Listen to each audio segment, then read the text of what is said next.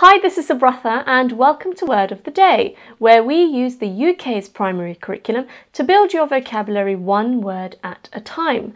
And today's word is system. I'd like you to give me your listening ears, children. It is going to be a long one today. We've got about six definitions to get through. So I would like you to make sure you focus, have your dictionaries ready if you would like to look things up, have your whiteboards and whiteboard pens if you would like to take notes, but all you need is yourselves and your listening ears. So let's get started. All the definitions of the word system are nouns. Definition number one a set of things working together as parts of a mechanism or an interconnecting network, a complex whole. Here's an example sentence. The railway system was built over 100 years ago. So you have, in this case, a network of railway lines, of trains, of ticketing systems, and it is quite a complex network. So when you have a complex network that all are linked together and they work as a whole, then you have a system. And in this case, you have a railway system. Another way that the word system can be used in this umbrella definition is when a set of organs in the body with a common structure or function uh, is also referred to as a system. Here's an example sentence. The digestive system allows us to process the food we eat and to get energy. So now we have all the different systems in the body, one of which is the digestive system. The digestive system also, in turn, is broken up into different systems of the stomach, the intestines, and the first port of call of the digestive uh, system is the mouth, the chewing, the teeth, uh, and all the stuff that goes on in there. So you have the digestive system, which are each different networks in themselves, all working together to make sure we process our food correctly. So this is also another way that the word system can be used is when we're talking about our body and all the things that are going on inside it. The third way that the word system can be used as a as part of this umbrella definition is when you talk about the human or animal body as a whole. This is similar to the last definition that we've looked at, but it is a little bit different. Here's an example to illustrate the point. You need to get the poison out of your system. So now we're not talking about little different networks of things working together as a whole. The word system just refers to your body. So let's say somebody ate something poisonous and they needed to flush it out of their system and perhaps they needed to drink a lot of water. This is another way that the word system can be used to refer to the whole body uh, of an animal or a human. Definition number two a set of principles or procedures according to which something is done, an organised scheme or method. Here's an example sentence. The GP is your first point of call in the health system. So in this case, now you're talking about an organizational structure uh, where you talk to, where in this case, you talk to different health professionals to find out what's wrong with you. The GP is always the first person that you go to, and if he can't fix it, then he will refer you to other medical professionals in hospitals. So the fact that the GP himself has to go through a procedure in referring a patient, this whole thing is referred to as a system. Another way that the word system can be used in the second umbrella definition is when you talk about organized planning or behavior. Orderliness. Here's an example sentence. There was no system at all in the company. So let's say somebody new started working there and all of the paperwork that was supposed to be in place, this person finds out isn't. Then you can describe that place as being unorganized and therefore having no system at all. So this is another way that the word system can be used. And finally, definition number three, the prevailing political or social order especially when regarded as oppressive. Now, this is a little bit more complicated to understand, as especially being children, you would not have had the life experience that adults would have. Now, some people feel that the way the world and life is organized that it favors some groups of people, especially richer groups of people, than others. Some people feel that it is harder for people with a lower income to get ahead as it is for people with a higher income, and that society might not always be equal. So, some people try to do what's called beat the system in a number of different ways, and that is usually quite illegal and involves criminal activity. But the point is, when people try to beat the system, then it means that they're trying to get ahead so that they feel that they're going places in the world. So that people feel that they are progressing in their life, but they are trying to do it in a way that basically is not always legal. Here's an example sentence Don't try and beat the system. Now, this doesn't have to be political, it can be in any area of life. Now, let's take sports for instance. Sometimes you hear on the news how some athletes take drugs so that they can run faster or achieve and perform better.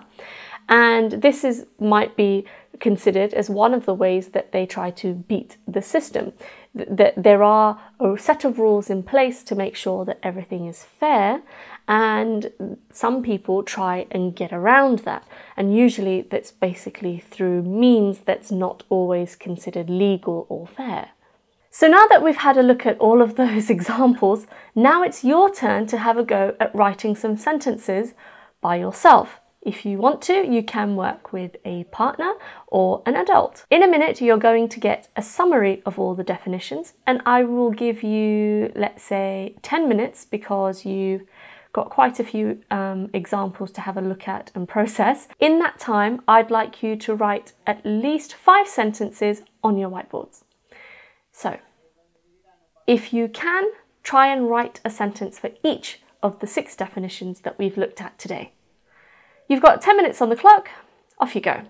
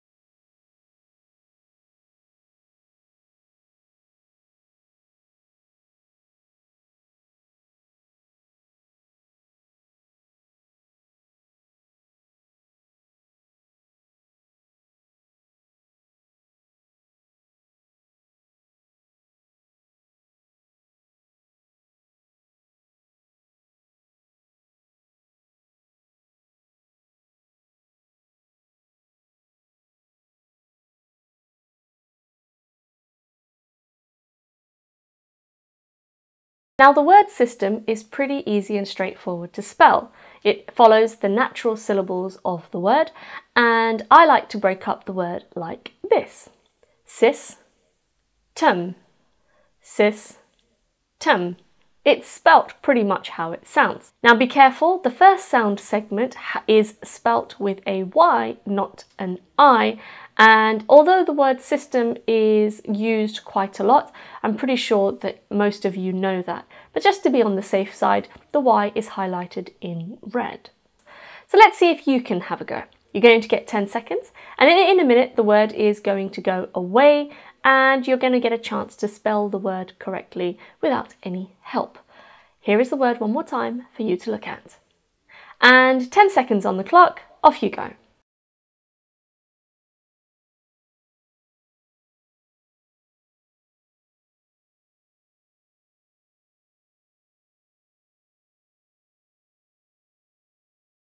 Excellent children, let's see if you got that right. The word system is spelt S-Y-S T E M. That's S Y S T E M. Fantastic, guys. That was a long one today. Well done if you listened and paid attention all the way until the end. I think stickers or table points or any reward system that you have in the classroom is in order. Make sure you ask your teacher for those. Eh, well done, children, and stay tuned tomorrow for tomorrow's word of the day, and I'll see you next time. Hi teachers, how are you? I hope you're having a great day. The sun is out, so I'm glad I'm literally just filming day after day now, trying to get ahead of uh, my filming and video schedule.